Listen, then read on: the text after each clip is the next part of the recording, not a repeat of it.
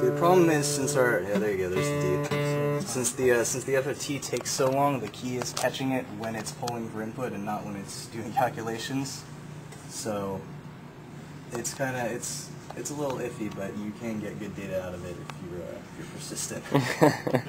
You found that it gets close, but you might have to play the note for a couple, five to ten seconds before it actually registers and picks up to the actual frequency on the tuner. Um, it doesn't pick it up right away because it has to go through the calculation a couple times to get it to work out. But like you said, if you're persistent and you sit there long enough, it comes with a note pretty close to it. So you, you, you batch it up, basically, is what you're doing. Yeah. Take the data in, then you put it out. Yeah. To the FFT and all that. Yeah.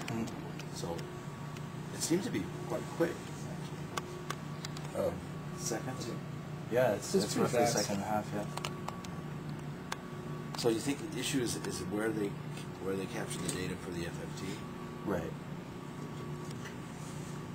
So you need some add some sort of threshold Yeah.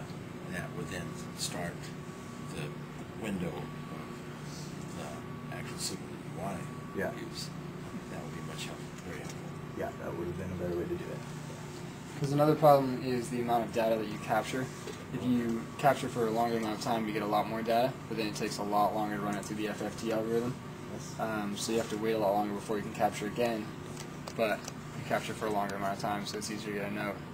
So we try to come up with a happy medium, and it's actually a fairly short capture time, but because it goes through the algorithm faster, it refreshes quicker. What is your So- window that you're using?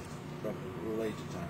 Uh, we're taking 512 samples, and I think that takes roughly 22 microseconds or something ridiculously quick like that.